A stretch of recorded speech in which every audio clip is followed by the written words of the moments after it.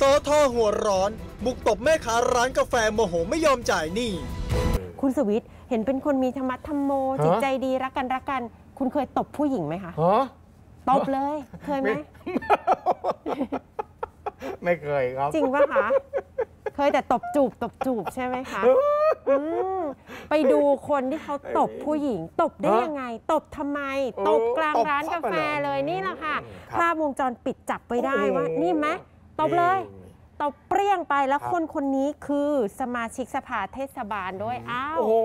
เรื่องนี้ดังครัแน่บนอนค่ะอยากดังจัดให้เลยนะคะ คลิปวงจรปิดในร้านกาแฟที่ตลาดลงเกลือพระพุทธบาทครับเขาจับภาพพฤติกรรมของชายอายุประมาณ 40 คนเนี้ยมาสั่งกาแฟเสร็จแล้วก็เอาผู้หญิงคนนี้มาพูดคุยหน่อยอืมถามว่าน้ำฝนน้ำฝน ผู้หญิงคนนี้ชื่อว่าน้องน้ำฝนนะคะอายุ 37 ปี บอกว่าหนี่ที่ยืมไปนะเมื่อไหร่จะให้ครับ ขาดส่งหลายทีแล้วนะหลายวันแล้วนะมาทวงมาถามนี่ก็ทำเป็นเฉยมาตบสักทีดีไหมนี่อืมแล้วถามครับว่าคนในคลิปที่ไปตบเนะเขาเนี่ยคือใคร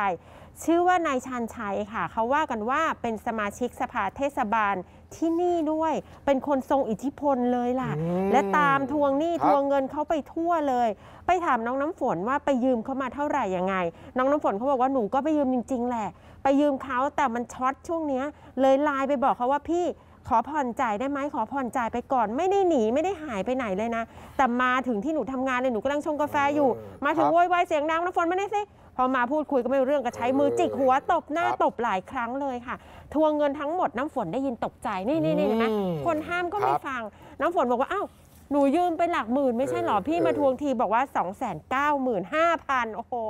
น้ำฝนบอกหรือจะเป็นเพราะว่าดอกเบี้ยร้อยละสิบอืมร้อยคละบสิบต่อเดือนค่ะอ้าว ถ้าอย่างนี้เป็นจริงและดอกเบี้ยเนี่ยอัตรานี้ผิดกฎหมายหรือไม่ แล้วผู้ชายคนนี้ก็บอกว่าผมก็ให้ยืมเงินแล้ว แล้วทำไมไม่ให้คืน น้ำฝนบอกก็จริงนะ หนูก็ไปยืมเขาหลายครั้งแล้ว แต่ส่งไม่เคยขาดเฉพาะดาวอย่างเดียวเนี่ยดอกเบี้ยหนูเองหนูก็ส่งไม่ไหวแล้วไอ้สองแสนเก้าหมื่นห้าพันเนี่ยหนูไม่รู้นะว่าอืมหนูยืมไปเท่านี้หรือครับเปล่าจดไว้นี่มันไม่ถึงนะ ก็เลยไปแจ้งความเลยค่ะ ทั้งโดนตบโดนตี ทั้งโดนขูดรีดเงิน แจ้งความมาที่สพพุทธบาทสระบุรีนะคะ ดูรอยซะก่อนนะคะคุณผู้ชมคุณสวิทย์รอยทำร้ายร่างกายเต็มไปหมดเลยค่ะ แขนขา